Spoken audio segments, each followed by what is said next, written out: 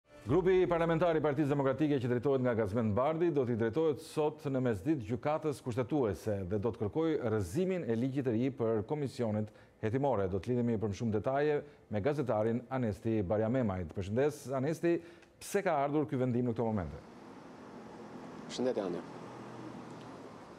Në fakt ka qenë një vendim që është paralajmëruar edhe më herët nga deputetët demokratë që në momentin kur ligji i ri, ndryshimet ligjore në ligjin për komisionet hetimore u diskutuan dhe u miratuan në parlament, demokratët i kanë kundërshtuar duke thënë se ky ligj cënon transparencën dhe nuk bën efikase komisionet e reja hetimore që do të ngrihen pas miratimit të ligjit, edhe kur në momentin që presidenti i Republikës e dekretoi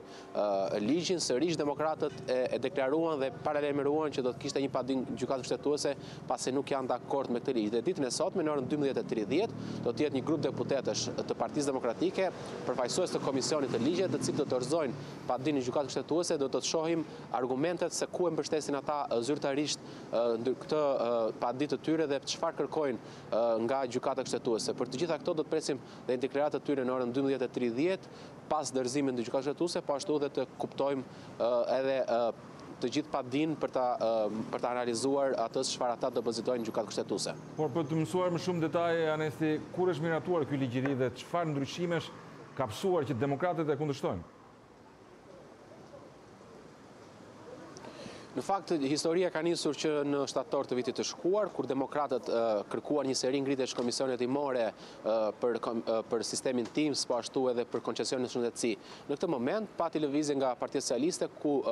disa deputetë propozuan ndryshime të reja, të cilat e tkurrin kompetencën e komisioneve hetimore, ku tashmë do të ketë më shumë hallka dhe do të ketë një fushë më të kufizuar për hetime parlamentare. Sa i përket këtyre ndryshimeve, tanimë me ndryshimet e reja nuk ka më transparencë thonë demokratët dhe socialistët në krahun tjetër vijuan me agendën e tyre duke zyrtarizuar ndryshimet në ligj.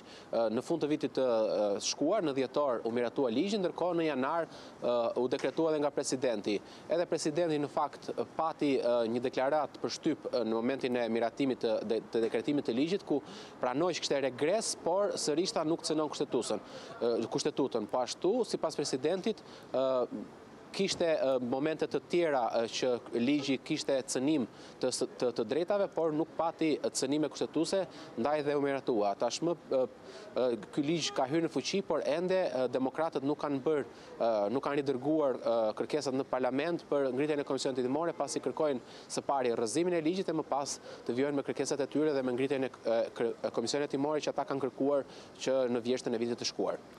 Anesti Barjamemaj, të falënderoj për raportimin.